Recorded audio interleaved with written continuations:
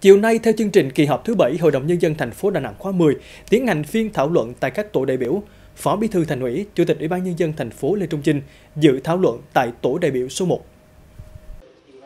Các ý kiến của đại biểu tập trung vào các nhóm vấn đề kinh tế ngân sách, đô thị, văn hóa xã hội và pháp chế. Chủ tịch Ủy ban nhân dân thành phố Lê Trung Trinh cho biết, 6 tháng đầu năm 2022, đặc biệt là trong quý 2, thành phố đã đạt được nhiều kết quả tích cực trên các mặt, tạo động lực cho cả hệ thống chính trị, doanh nghiệp, người dân. Thành phố đã và đang triển khai đồng bộ nhiều biện pháp để triển khai chủ đề năm thích ứng an toàn, linh hoạt, kiểm soát hiệu quả dịch bệnh và phục hồi phát triển kinh tế xã hội. Nhiều đơn thư, đề xuất đã được giải quyết kịp thời. Tuy nhiên hiện nay công tác tiêm vaccine phòng Covid-19 trên địa bàn thành phố đang bị chậm chậm lại. Vì vậy, cần có giải pháp nâng cao công tác tuyên truyền cho nhân dân để bảo vệ những thành quả phòng chống dịch của thành phố. Khi mà kiểm soát được dịch bệnh thì các hoạt động xã hội, nhất là du lịch chúng ta đã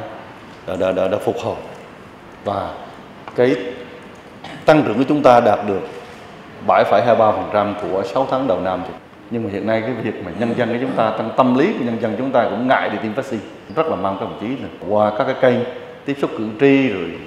hay là đi ờ, xuống cơ sở thì các đồng chí cũng tiếp tục tuyên truyền cho nhân dân đây là một cái biện pháp tốt nhất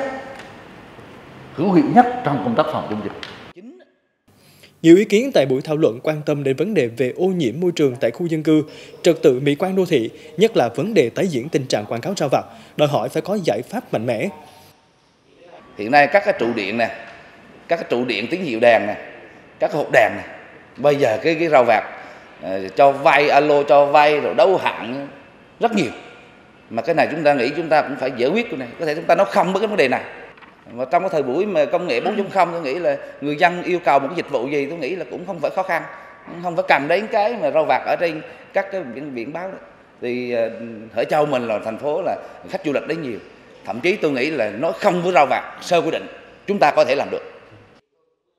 Liên quan đến các giải pháp khôi phục kinh tế và đẩy mạnh tăng trưởng của thành phố trong thời gian đến, nhiều đại biểu cho rằng thành phố cần tiếp tục có giải pháp tháo gỡ khó khăn cho doanh nghiệp, nhất là trước tình hình giá cả vật liệu leo thang, để doanh nghiệp khôi phục phát triển sản xuất kinh doanh, đẩy nhanh đầu tư công, tháo gỡ vướng mắc ở các công trình trọng điểm, quan tâm dành quỹ đất cho giao thông tỉnh, xử lý các bãi đất trống, các dự án chậm đầu tư.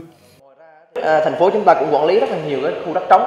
à, nhưng mà chúng ta cũng chưa đưa vào khai thác sử dụng. À, do đó thì nó cũng gây cái sự lãng phí bên cái sự lãng phí đó thì nó cũng gây mất cái mỹ quan đô thị thì tôi cũng đề nghị chúng ta khi mà chúng ta đã cho khai thác sử dụng rồi thì cũng phải có những cái tổ chức nào muốn khai thác thì phải có cái dự án đề án nó phải chỉnh chu nó bài bản chúng ta cho đầu tư Bên cạnh đó, các đại biểu cũng đặt vấn đề cần có giải pháp cho nhà ở xã hội ở nội đô thành phố, điều chỉnh giải pháp giải tỏa đền bù cho hợp lý, chú ý đến tháo gỡ những vướng mắc trong triển khai chính quyền đô thị tại địa phương, đồng thời chú trọng công tác an sinh xã hội, công tác an ninh trật tự trên địa bàn thành phố.